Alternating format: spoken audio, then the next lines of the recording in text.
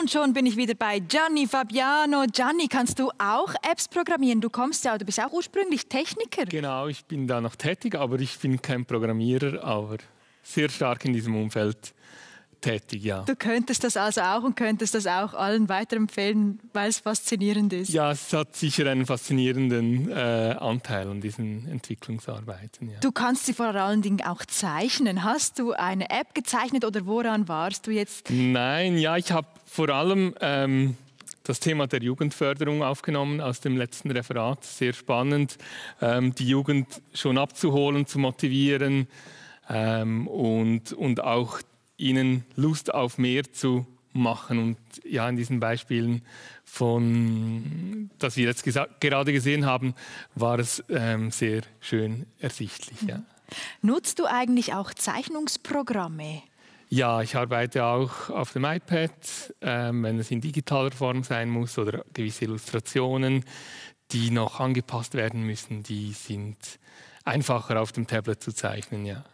Okay, aber es macht dir fast schon mehr Spaß von Hand. Ja, also der Widerstand des Stiftes auf dem Papier, das ist so noch ein traditionelles Feeling, das macht etwas mehr Spaß. Ja. Gut, dann lasse ich dich weiterzeichnen. Vielen Dank, Gianni. Danke.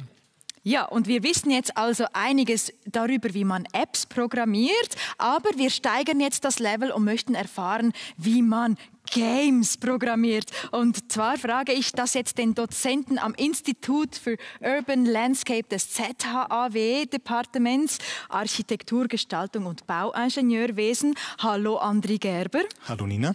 Das mag jetzt natürlich ein bisschen erstaunen, dass ich das ausgerechnet dich frage, einen Architekten und äh, Akademiker, aber schließlich hast du ja das Corona-Game entwickelt.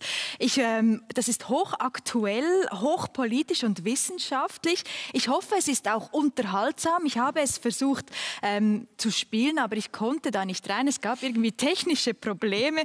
Also es ist vielleicht doch nicht ganz so einfach, ein Game zu programmieren. Ja, Nina, du triffst einen ziemlichen wunden Punkt. Ähm, wir haben das zwar ausführlich äh, getestet, aber wir haben tatsächlich noch ein paar Probleme mit äh, älteren Computern und älteren Betriebssysteme. Aber wir arbeiten noch dran, dass wir das äh, lösen. Es war für uns sehr spannend zu sehen, dass die Entwicklung des Games eigentlich fast einfacher war als dann die Veröffentlichung. Also da muss sehr viel Optimierung geschehen und das haben wir vielleicht etwas unterschätzt. Äh, gleichzeitig ist das äh, das erste Game, das wir gemacht haben und von dem her denke ich, dass wir da noch äh, ein bisschen kleine Makel haben dürfen. Selbstverständlich, es sei dir verziehen. Und dann sprechen wir doch lieber über die Entwicklung.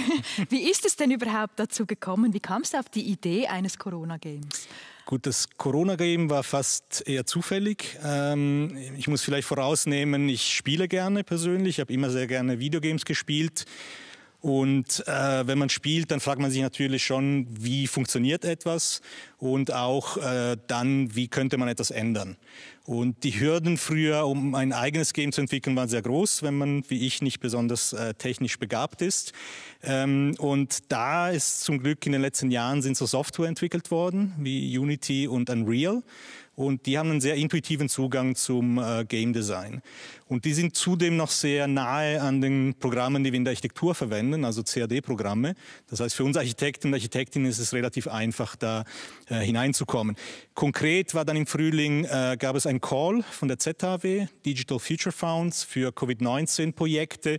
Und äh, durch diese Finanzierung konnte ich dann das Corona-Game äh, machen. Aber insofern war es eher ein Zufall. Mhm. Wobei, so zufällig war es doch nicht, weil du nutzt ja auch Games schon in deinem Studium. Warum sind Games in einem Architekturstudium sinnvoll? Nein, sie sind überall sinnvoll, würde ich sagen. äh, ich meine, Spielen ist so eine Universalsprache und die versetzt uns in so einen ganz besonderen Zustand. Wir nehmen die Realität anders wahr. Wenn wir spielen, kommunizieren wir anders. Und auch dieser Vorurteil, dass äh, Spielen äh, so etwas Nebensächliches ist, das ist eigentlich widerlegt. Wir wissen heute, wie wichtig Spielen ist für die Entwicklung, kognitiv, räumliches Vorstellungsvermögen und äh, solange man es im Maße spielt natürlich. Und für Architekten und Architekten ist ganz spannend, weil natürlich in Games äh, Städte, Landschaften, Gebäude ins Virtuelle übersetzt werden. Und da ist natürlich spannend zu sehen, wie geschieht diese Übersetzung. Und noch spannender ist aber, wenn die Studierenden sozusagen äh, selber ein Game entwickeln müssen, weil da müssen sie nicht nur die Räume äh, gestalten, sondern sie müssen dann auch die Mechanik, also die Zusammenhänge, wie funktioniert etwas. Und es ist natürlich so, bei Videogames wird die Realität meistens vereinfacht äh, übersetzt. Und diese Vereinfachung hilft dann Studierende eben, äh, sich auf das Wesentliche zu konzentrieren. Faszinierend. Wir sehen ja in deinem Game diese Städte. Was sind das für Städte und mit welchem Ziel habt ihr diese Städte ausgewählt? Ja, es, äh, ich, ich habe zuerst muss ich mal sagen, ich habe mit fünf Architekturstudierenden der ZAW zusammengearbeitet und äh, wir haben am Anfang dann zusammengesessen und äh, überlegt, welche Städte sollen wir jetzt nehmen. Äh, die Studierenden waren auch bei mir im Unterricht, das heißt, die kennen 6000 Jahre Geschichte des Städtebaus. Oh. Äh, sie hatten auch mit mir schon äh, ein Game Design Seminar gemacht und dann haben wir einfach zusammengesessen, überlegt, welche Städte wollen wir nehmen. Und da waren so zwei Kriterien ausschlaggebend. Das erste war so ein bisschen die Vorliebe. Äh, in meinem Fall ist es dann die Idealstadt der Renaissance. Die Renaissance ist meine Lieblingszeit. Oder es gab so äh, eine äh, italienische Utopie der 1960er. Das ist eigentlich so wie eine, eine endlose Einkaufspassage. oder Wall City in Kowloon, das 1995 schon wieder abgerissen worden ist. Das war eine der dichtesten Städte der Welt. Und der zweite Punkt war natürlich schon, dass wir verschiedene Qualitäten der Räume zeigen wollten. Also diese Beispiele zeigen gute und weniger gute äh, räumliche Qualitäten, weil es uns auch darum ging, eben zu zeigen, äh, Städtebau, eben, also Städte, da geht es eben um diese Qualitäten. Mhm. Also wir müssen vielleicht noch kurz sagen, um was es geht bei dem Spiel. Also ein Ego, sagt man dem so, ist infiziert mit dem Coronavirus und geht durch die Städte und muss möglichst anderen Menschen ausweichen, um sie nicht anzustecken. Das heißt, du hast es jetzt gerade gesagt, äh, du möchtest auch ein bisschen den Dichtestress der Städte thematisieren. Möchtest du ihn auch kritisieren? Ja, also der, der Begriff Dichtestress äh, haben wir bewusst auch ironisch genommen. Das ist eigentlich so ein schweizerisches Unwort. Ähm, das Problem ist, dass wir in den letzten Jahrzehnten sehr stark in Richtung Verdichtung gegangen sind. Und Verdichtung ist natürlich aus dem Nachhaltigkeitsprinzip sehr wichtig. Also Stichwort innere Verdichtung, 15 Minuten Stadt oder auch die Zersiedlungsinitiative. Und jetzt mit der Pandemie ähm, hat man die Tendenz, alles über Bord zu werfen. Und plötzlich muss man wieder ins Grüne gehen. Und äh, das wollten wir natürlich mit diesem, mit diesem Game etwas äh, hinterfragen. Äh, damit aber auch eben diese Frage der Qualität, äh, weil man jetzt eben sehr stark mit Quantitäten rechnet, mit Daten. Äh, und äh, wir wollen sagen, es gibt nicht nur die Quantität, sondern es gibt auch die Qualität. Und dass Dichte nicht gleich Dichte ist. Welche sind denn die Stadtkonzepte, die sich am meisten bewährt haben? Oder ich habe jetzt nicht ganz herausgehört, was jetzt dein Favorit ist in der jetzigen Zeit. Ja, ich bin Historiker. Das heißt, äh, ich höre irgendwie bei 1960 auf oder 1980. Das ist der Vorteil. Äh, man muss sagen, die Stadt ist natürlich etwas, was unglaublich komplex ist. Und zwar gibt es immer wieder Versuche, etwas aufzudrücken, aber gleichzeitig sind dann Faktoren wie eben Pandemien, die man äh, wie nicht einrechnen kann. Nehmen wir das Beispiel von Zürich. Da gab es zwischen 13 muss ich auch mal überlegen, 49 und 1688 zum Beispiel 23 Pestausbrüche mit mehrere Zehntausend Tote jedes Mal. Parallel oder danach gab es noch äh, Typhus, Cholera, äh, Nerven. Ähm, also Grippe und Pocken und so weiter und so fort. Das mhm. heißt, die Stadt hat das schon erlebt und hat sich auch angepasst. Das heißt, ich würde sagen, die Modelle, die sich bewähren, sind diejenigen, die eben anpassbar sind. Äh, ganz spannend ist die Architektur der Moderne, weil die ja versucht hat, auf die Hygiene eingehen und die zu thematisieren, aber eben insofern gescheitert ist, dass sie nicht anpassbar war und andere Faktoren eben benachlässigt hat, wie das Soziale. Mhm. Also du regst eher zum Nachdenken an. Das Spiel ist ja auch nicht böse, weil es hätte auch umgekehrt sein können, dass das Ego gesund ist und lauter infizierten Zombies hätte ausweichen müssen oder so ähnlich. Das genau wolltet ihr nicht. Ihr wolltet eben eine gute Moral reinsetzen. Man soll andere schützen, man soll möglichst versuchen. Und das Ego hält ja auch keine Waffe in der Hand und ballert in der Gegend rum, sondern ein Buch und nicht irgendein Buch. Das ist nicht zufällig gewählt. Also da haben wir eben die Pest Pest oder Il Decamerone und so weiter. Was ist die Moral der Geschichte?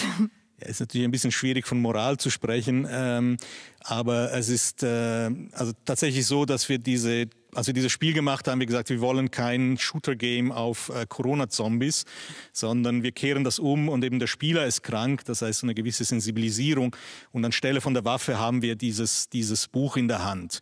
Und äh, es ist natürlich schon so, dass die Stadt der Ort ist, wo man zusammenkommt. Das, das ist die Stadt.